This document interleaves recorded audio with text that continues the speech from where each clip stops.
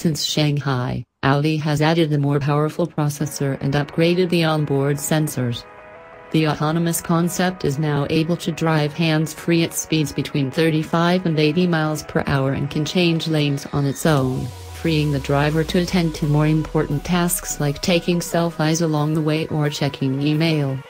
If drivers are willing to wear a fitness tracker, the car can accurately keep track of how tired or stressed they are. An in-cabin display can guide them in breathing exercises and the seats can be configured to massage passengers to the beat of music. Oh, happy days. The Audi Elaine concept features a 429 horsepower electric powertrain good for 0 to 100 km per hour sprints in 4.5 seconds. It has 95 kWh battery and a 311 miles range in the new European drive cycle. Subtract about 30% to get an idea what its EPA range will be. Self-parking and wireless charging are part of the package.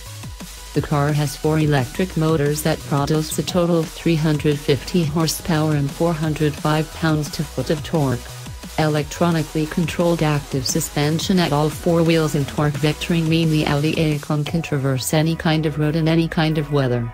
Lightweight construction and advanced aerodynamics should allow the car to travel up to 500 NEDC miles on a single battery charge.